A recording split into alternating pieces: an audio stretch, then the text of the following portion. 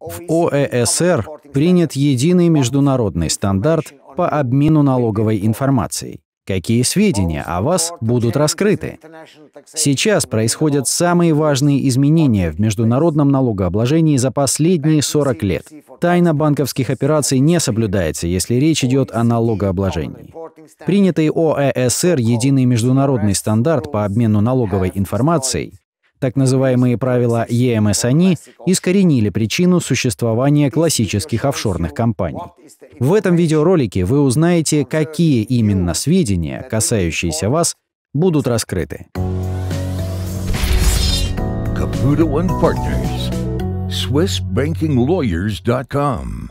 We fight for your money. Здравствуйте, я Энцо Капуто из SwissBankingLawyers.com. Более 100 стран, в том числе Гонконг, Дубай, Лихтенштейн и Каймановые острова, начинают осуществлять автоматический обмен информацией АОИ. Речь идет о передаче конфиденциальных сведений, относящихся к банковским счетам клиентов нерезидентов. В соответствии с единым международным стандартом по обмену налоговой информацией банки будут сообщать информацию о клиентах нерезидентах. Какие же именно сведения будут раскрыты в соответствии с единым международным стандартом по обмену налоговой информацией?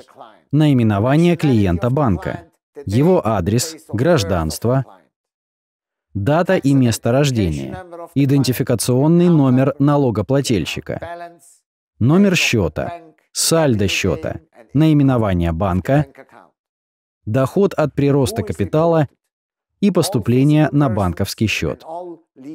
О ком будут сообщать? Будут сообщаться сведения обо всех физических и юридических лицах. Однако имейте в виду, что в ОАИ есть более 40 лазеек.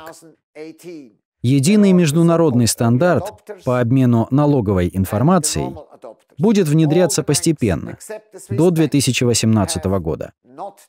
Ни один из банков, кроме швейцарских, не располагает компьютерными системами для обработки всех этих данных.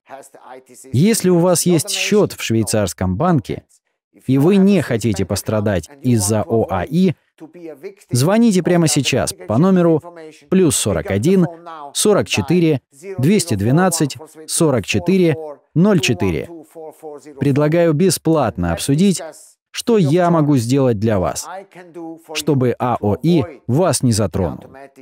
Будьте богатыми и оставайтесь богатыми. Прекрасного вам дня!